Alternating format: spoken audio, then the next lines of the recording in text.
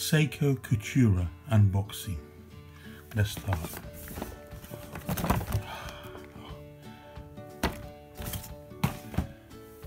Just purchased it.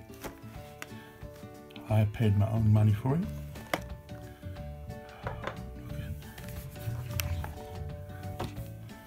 Receipts guarantee.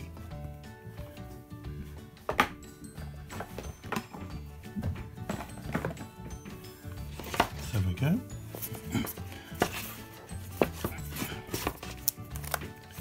Look at that. Look at that. It's still Seiko Cortura. And that's the box. Brand new. Receipt tags. Barcode. Absolutely fantastic. You can see two-tone 44 millimeter case stylish gold etched bezel. I made the light slightly dimmer so that you can see the beauty of it. Now let's take it out.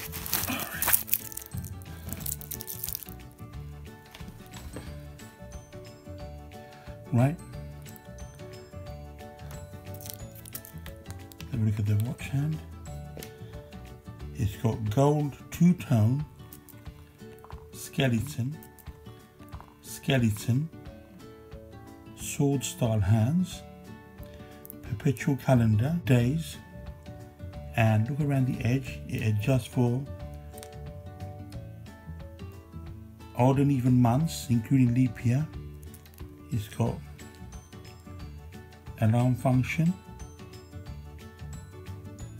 chronograph, six months power reserve, Hans power reserve, unbelievably beautiful, absolutely gorgeous.